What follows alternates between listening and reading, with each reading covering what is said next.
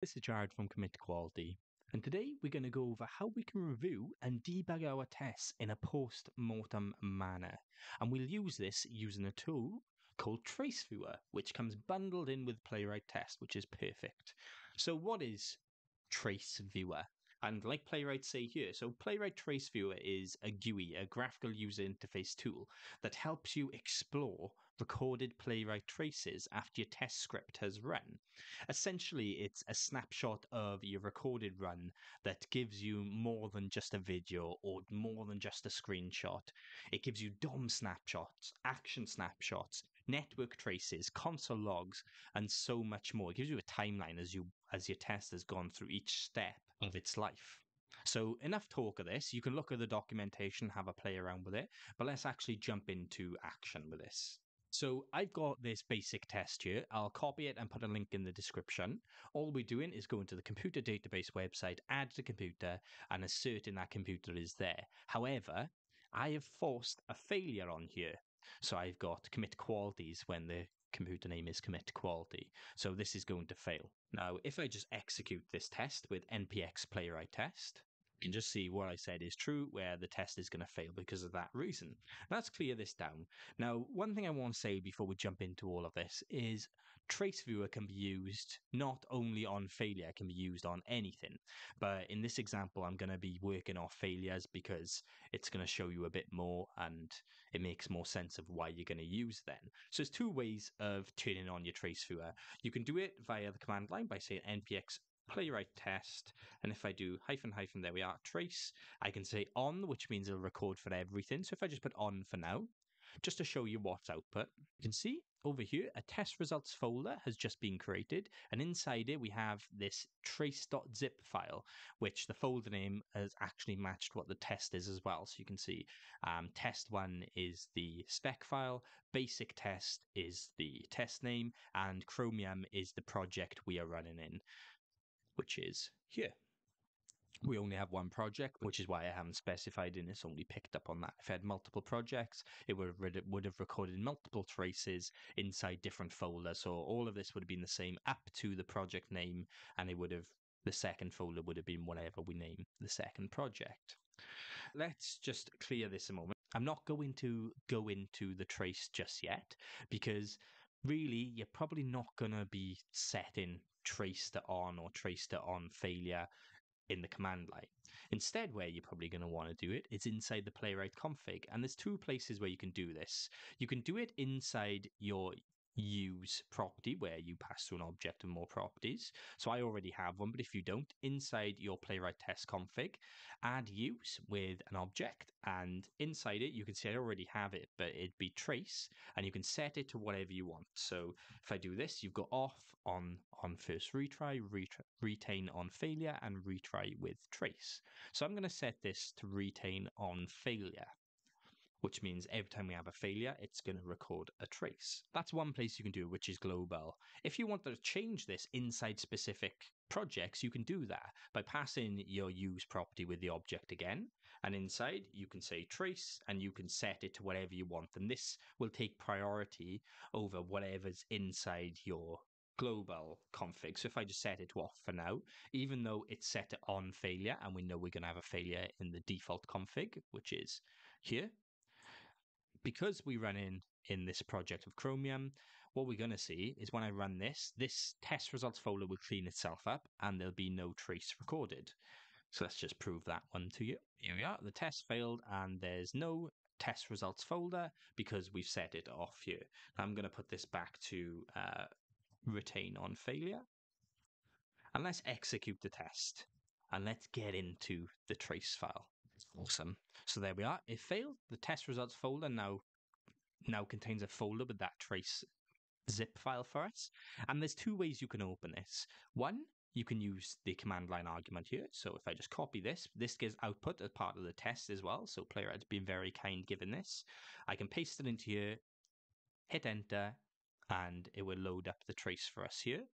If you don't want to do that, what you can also do is go to a progressive web app which was created by Playwright. So if you go to the documentation, at the top it says you can view it locally, which we just did, or we can drag and drop our trace zip file into this browser. So let's open this in a new tab, and it tells you here, drop your Playwright trace to load, and it also says that it's a progressive web app, so it does not send your trace anywhere. It just opens it locally, so it's all safe for us. So what I'm going to do is I'm going to drag it into here just to show you this way as well. So if I go into test results and I just reveal in File Explorer, let's go back to the web page. I'm dragging the trace.zip file and only the trace.zip file into here. And it's loaded up exactly what we've seen when we done it locally on the command. It's just in your browser instead.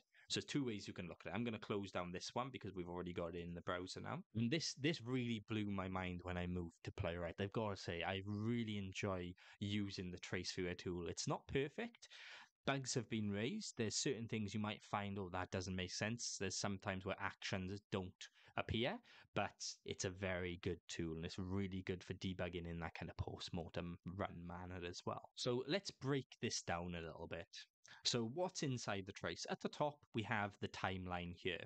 So you can see you've got what's happening. So you've got the new page. Let's go into the computer database website. We're looking to click add a new computer here. You're filling in all the details with commit quality. And then it's waiting for be done and it's doing the assertion part for us. And if you highlight over them, what you might be able to see so if you're looking down this left side, as we're hovering over these actions, you can actually see it's highlighted in this grey kind of tone that the action being performed, the one we're scrolling through on the timeline, is where it is. So if I wanted to jump to locator, if I if I hover over this, we can see up the top a little bit this was marked red and you can see it highlighted down in the action section. So you've got a full timeline kind of recorded there of exactly what's happened on each individual action. Now let's go into the actual actions part of this then. So down here you've got everything that's happened. So this is all of the test steps that we've taken. So if I go back to our test file, you can see we've gone to a web page. We then tried to click something.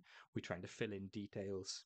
And here you've got get by text, trying to fill in on name, fill in, introduce. So it's just following exactly what you've told the test to do. On here, you have action snapshot. So let's let's look at the click. On the click, you can see on the action snapshot, it showed us exactly where we've tried to click something. You've got this kind of little red hit marker on here. This is really useful, and one example I've had in this where a button was as part of a div, and even though the button was say sitting here, what actually happened is when I was trying to click it, it was actually clicking the middle of the screen because that's where they thought it was living inside the div. As soon as I put trace viewer on, I saw, oh, the hit marker was over here. So I scoped it down a little bit more into, say, where this button lives now, and it fixed the problem. It was a really quick and easy way of debugging what was wrong in my tests. Not only do we have this action snapshot, we also have a before and after. So before it, we can see we were just on the page, nothing really happened, didn't click anything. After we clicked it is what what happened after the action. So, of course, add a new computer takes us to the add new computer page, and that's exactly what it's shown us. And you can see that on the fill options. On action, you can see it's highlighting this.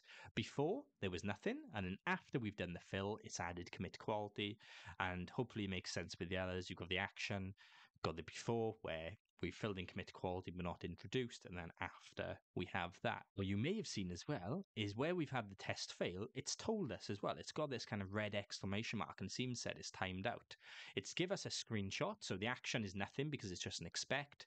The before is nothing because once again it's just an expect, and the after is nothing because it's an assertion. It's an expect assertion. It's over here in the call log, it's given us what action was called, the time and duration, as well as the parameters, return value, and the log of things. So here it's telling us when it happened, the duration, of course, it timed out, so it couldn't give us all of that.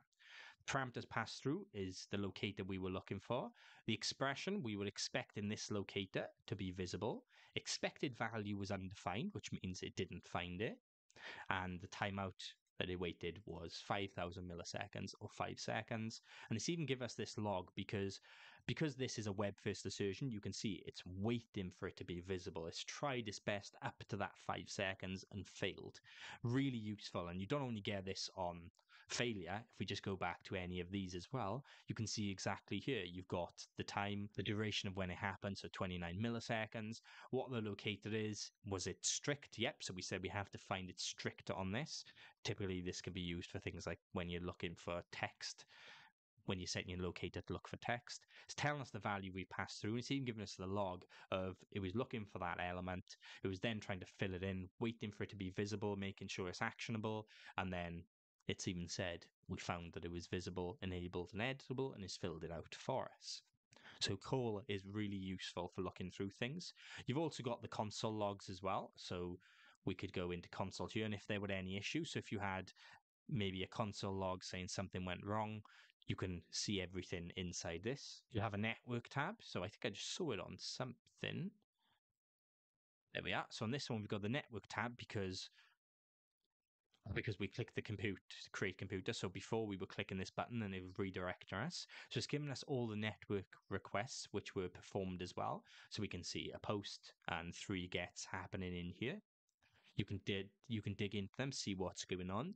These can be really useful when you're using kind of uh, routing or playing around with mocking some requests. You can definitely do that. And you could get all the information directly from here, kind of similar to how you'd get in Chrome's Dev Tools.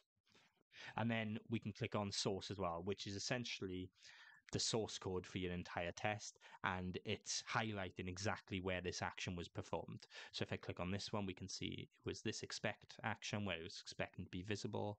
If we go on to the locator.name, it highlights that. So it's just showing us we can map it up this way as well. So you could say, okay, I know this is filling in the name as part of my test. What line is it in part of that? I can find it directly inside this source tab honestly, I know I've said it, but it really blew my mind when we were doing this. And this coming from something like Selenium, this just blew it out of the water for me. And this is what I really sold my teams on. When I was introducing Playwright Migration into our company, of course, there's extra benefits, but this tool was just fantastic, in my opinion.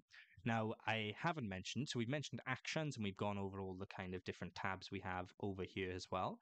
But also there's a metadata tab. And on here, you can see metadata such as the time the action was performed, what browser engine was used, the viewport, what the viewport was, um, if it was mobile, how many pages, actions, and events were recorded, all that good stuff. So you might have off your developers your fountain, or can you give me, you know, what your viewport was if you found maybe a UI bug, and you could go directly into this and see exactly what it is without having to dive into the config, or you can just send this file over to others. I, I genuinely believe this tool is a game changer and has so much power and it's been a huge blessing to my day to day work. I could give you hundreds of examples of where I've been using this tool. And this is why I kind of wanted to give you a, a deep dive into all the different parts of it so you know you can see there's there's this timeline of exactly what happened. You've got these actions. You can look at the console logs, the call stack, everything.